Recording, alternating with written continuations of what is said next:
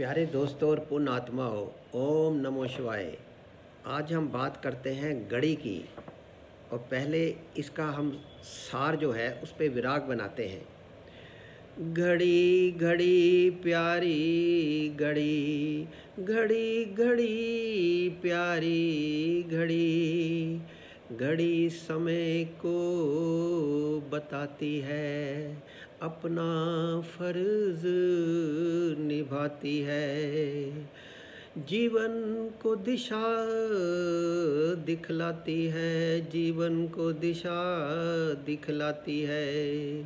सकारात्मक तरंगों से भाग उज्जवल बनाती है।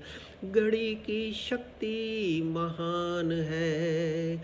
इसकी घर में अपनी ही शान है। घड़ी का सम्मान करो, ये सब कष्ट मिटाती है। हमें समय का महत्व समझाती है। अपनी टन टन और टिक टिक से नकारात्मक ऊर्जाओं को भगाती है और सकारात्मक तरंगे फैलाती है।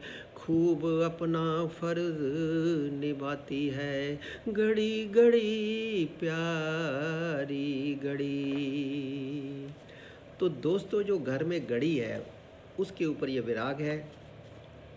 पूर्ण आत्माओं, आजकल हम बात जो करते हैं, कि घड़ी को सब लोग अपने घरों में, ऑफ़िस में, दुकान पे या फैक्ट्री में लगाते हैं और लगी होती है सबके।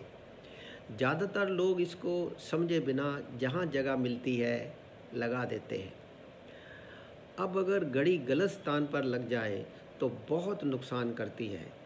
क्योंकि विज्ञान भी मानता है कि हर चीज़ ऊर्जा तरंगें छोड़ती है।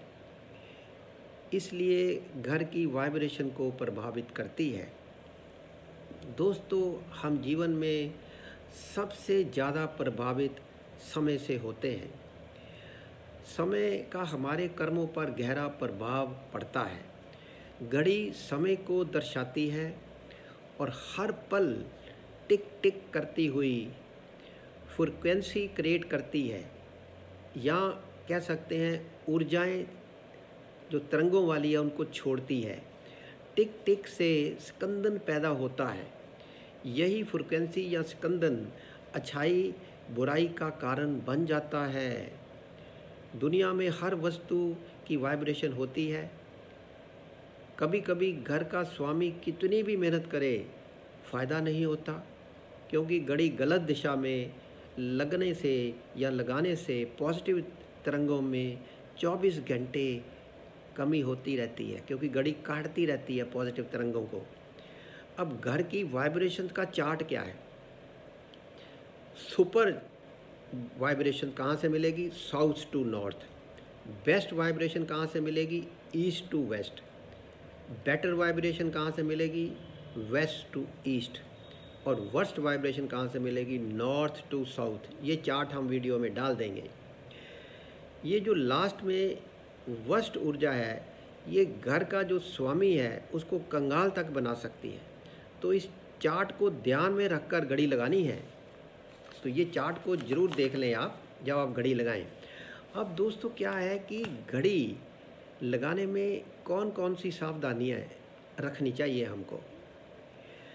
नंबर वन है, दक्षिण दिशा में नहीं लगानी चाहिए, क्योंकि ये यमलोक की दिशा है। दूसरा है नॉर्थ ईस्ट में भी नहीं लगानी चाहिए। इस दिशा में घड़ी लगाने पर आपको लगेगा कि आप जीवन में कुछ नहीं कर पाए, आपको डिप्रेशन होगा टेंशन रहेगी। तीसरा नंबर घड़ी का आकार। पूरा गोल हो या अंडाकार हो, क्योंकि ये शेप पृथ्वी माता को रिप्रेजेंट करती है। आजकल लोग सजावट के लिए अलग अलग तरह की घड़ियाँ लगा लेते हैं और वह नुकसान करती हैं। अब जैसे सुकेर घड़ी को भी अवॉइड करो, क्योंकि जो सुकेर घड़ी है, उसके भी जो कोन है, वो तीखे होंगे, नकीले होंगे तो वास्तु से गलत है। अब चौथा नंबर, कई लोग घड़ी में भगवान जी की फ़ोटो बनवा लेते हैं, जो गलत है। क्योंकि घड़ी पर धूल, मिट्टी, जाले लगे रहते हैं। ज़्यादा लोग सफ़ाई नहीं करते उसकी, और भगवान जी को तो धूप, बत्ती और दिया जलाना है। नहीं तो जो भगवान जी की शक्तियों का अपमान होता है। पाँचवा नंबर, घड़ी का घर में पॉजिटिविटी में बहुत बड़ा रोल है। इसलिए इसे साफ़ करते रहें और पुरानी और ख़राब घड़ी को इकट्ठा ना करें और ना ही लगाएँ। नहीं तो अक्सर देखो लोगों की कब्बर्ड्स के ड्रार में कितनी खाली घड़ियाँ पड़ी रहती हैं। छठा नंबर, घड़ी किसी को गिफ्ट मत दें अपनी पर्सनल घड़ी, क्योंकि अगर समझो आपका भाग्य अच्छा है तो वो उस व्यक्ति को चला जाएगा। पर अगर आपका समझो भाग्य खराब है तो उसका भी नुकसान हो जाएगा। तो दोनों तरफ़ से नुकसान ही है। अब सातवां नंबर, बंद घड़ी घर में कभी मत रखो। नहीं तो किस्मत के रास्ते बंद हो जाते हैं, सोल ब्लॉकेजेस हो जाते हैं। ये एक बहुत बड़ी बात है। आठवां नंबर क्या है कि अपने बेड के ऊपर या सामने घड़ी मत लगाओ। सामने कोई सुंदर मोहक पिक्चर या भगवान जी की पिक्चर हो घड़ी को साइड पर लगाएँ या साइड पे रखें। नाइन्थ नंबर घड़ी कभी भी सोने वाले बेड मतलब सिर की दिशा में साइड टेबल पर मत लगाओ। इससे स्ट्रेस बढ़ती है। वाइफ हस्बैंड के संबंध डिस्टर्ब रहेंगे। नींद भी डिस्टर्ब रहेगी। क्योंकि घड़ी निरंतर वाइब्रेशन छोड़ती रहती है। टिक टिक टिक टिक, टन टन टन टन। और आपने देखा होगा कि आजकल हस्बैंड वाइफ के रिलेशन ज़्यादा अच्छे नहीं हैं। और दसवां नंबर, जिनका शुक्र नीच का हो, वहाँ तो संतान में बहुत दिक्कतें आएँगी। अगर वो घड़ी बेड के जहाँ सोते हैं, सराहने के ऊपर लगा देंगे तो इस बात का ध्यान रखना है कि बिल्कुल नहीं लगानी वहाँ। फिर ग्यारहवा नंबर जो है, क्वांटम फिजिक्स के अनुसार जो मेन जो दरवाज़ा है, उस पर भी घड़ी नहीं लगानी। क्योंकि नहीं तो घर वालों को लॉस होगा।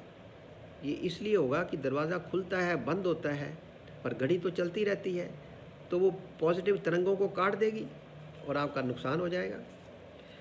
तो दोस्तों, समय सब कुछ हील कर सकता है। Time is a great healer और घड़ी का सीधा लिंक समय से है। अब घड़ी कहाँ, कैसे और किस दिशा में लगाएँ ताकि ये सकारात्मक तरंगे पैदा करे, जिससे घर में सुख, शांति, खुशी रहे। यही हम समय से चाहते हैं और घड़ी इसको रिप्रेजेंट करती है समय को। पहला north direction is about water है। नॉर्थ की दीवार पर लगाने से घर में फाइनेंशियल बरकत होती है। कुबेर देवता खुश होते हैं और इसका लेकिन कलर वाइट और ब्लू रंग का होना चाहिए। तो बहुत बढ़िया हो जाएगा। धन दौलत खूब आएगा। लेकिन इसकी शेप भी सर्कुलर हो, जो पृथ्वी माँ से रिप्रेजेंट करे। दूसरा है, घड़ी ईस्ट में लगा सकते हैं, लेकिन ये वुडम फ्रेम के ऊपर हो और इसका रंग हरा हो तो ये सकारात्मक ऊर्जा पैदा करेगी। ये बात का ध्यान रखना है। तीसरा है, घड़ी वेस्ट में भी लगा सकते हैं, क्योंकि ये लाभ, प्रॉफिट की डायरेक्शन है, लेकिन इसमें घड़ी जो मेटेलिक कलर की हो, जो ग्रे कलर का होता है, उस तरह आप लगा सकते हैं। फोर्थ नंबर साउथ वेस्ट में घड़ी को आप लगा सकते हैं। क्योंकि ये अर्थ मटेरियल को स्टेबलाइज करेगी। सारे घर वालों के शरीर का जो अर्थ मटेरियल है, उसको स्टेबलाइज करेगी। और फैमिली बॉन्ड को अच्छा करेगी। रिश्ते अच्छे हो जाएँगे बच्चों के और माँ बाप के। पांचवा नंबर, घड़ी को सीधा टांगे। साफ़ करते रहें और हमेशा द्वार पर लगाएँ। टेढ़ी मेढ़ी घड़ी नहीं रखनी। छठा नंबर, घड़ी को कभी पीछे ना रखें। जो घड़ी की सुई होती है, उसको थोड़ा सा आगे रखें, चार पाँच मिनट। आगे ज़रूर रखें ताकि जीवन में आप आगे उन्नति करो, आगे बढ़ो। सातवां नंबर, घड़ी पर समय की मेडिटेशन करनी चाहिए, क्योंकि घड़ी क्लॉकवाइज चलती है। टक टक आपने देखा होगा, क्लॉकवाइज। और आपको जीत की ओर ले जाती है।